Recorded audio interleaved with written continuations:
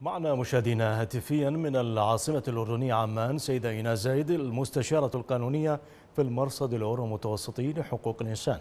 مرحبا بك سيدة إيناس إذا حملة واسعة أطلقها ناشطون في مواقع التواصل الاجتماعي لمطالبة الحكومة بالكشف عن مصير آلاف المخطوفين والمغيبين قسرا على يد القوات الحكومية وميليشياتها.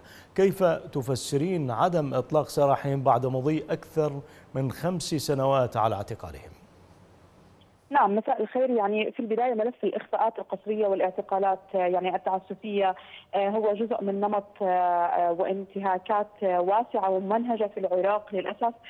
لم تقم السلطات العراقية بالاستجابة لأي طلب من الأسر أو حتى منا كمنظمات حقوقية للاتصاح عن معلومات حول هؤلاء الأشخاص المختفين. لم يتم تقديم أي جواب حول مكان هؤلاء الأشخاص أو فيما إذا كانوا لا يزالون أحياء أم لا. فعليا يعني هناك العديد من الإحصائيات المريبة والمرعبة التي تشير إلى وجود أعداد يعني يتراوح ما بين 250 ألف يعني شخص معتقل الان ومفقود ولا ولا يعلم مصيره وهذا وهذه بحسب اللجنة الدولية للصليب الأحمر. يعني تنبئ وتخبر بأن العراق هو فعليا لديه أعلى عدد من المفقودين في العالم، هؤلاء المفقودين الموجودين الآن في سجون ربما كانت سجون سرية غير غير قانونية ولا تنطبق عليها الشروط والمعايير التي يجب أن تتوافر في أي معتقل تابع للسلطات الرسمية، هذا الأمر يعرفه القانون الدولي بأنه جريمة إخفاء قسري سواء تمت عن طريق يد مسؤولين في الدولة أو وكلاء للدولة أو حتى على يد أشخاص ومجموعات تعمل. بإذن هذه السلطات وكما الحال في العراق من وجود الميليشيات المسلحة التابعة للحكومة العراقية.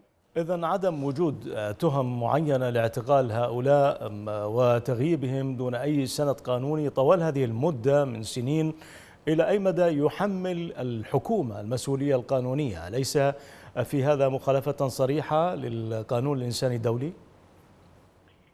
بالتاكيد هو مخالفه صريحه للقانون الدولي الإنساني والقانون الدولي لحقوق الإنسان وكذلك الأمر يعتبر انتهاك لايضا القانون العراقي لأن القانون العراقي وقانون أصول المحاكمات الجزائية العراقي يشترط أن يتم الاحتجاز بموجب مذكرة توقيف صادره عن المحكمة على أن يمثل المشتبه فيه أمام قاضي التحقيق في خلال 24 ساعة حتى يصرح بتمديده في فترة احتجاز أخرى. ولكن للأسف ووفقا للشهادات التي قمنا بجمعها فإن بعض القضايا الموثقة تنبئ بأن عناصر الأمن لم يقدموا أي مذكره توقيف أو تفتيش بحق هؤلاء الأشخاص، هذا الأمر يعتبر انتهاك للقانون العراقي ويحمل المسؤوليه الكبرى على الحكومة العراقية بوصفها أيضا يعني هي أيضا طرف في الاتفاقية الدولية لحماية جميع الأشخاص من الاختفاء القسري وهذا الأمر يجعل عليها التزام أن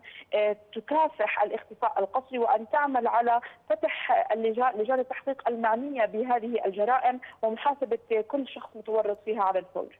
وجود أغلب المخطوفين أو المغيبين قسرا عند هذه الميليشيات والحديث عن اكتشاف مقبرة جماعية أيضا في مدينة بابل أو محافظة بابل إلى أي مدى يؤكد تغييب مصطلح الدولة إلى دولة تحكمها الميليشيات كما ذكرنا وأشرت إلى تردي واقع حقوق الإنسان في العراق.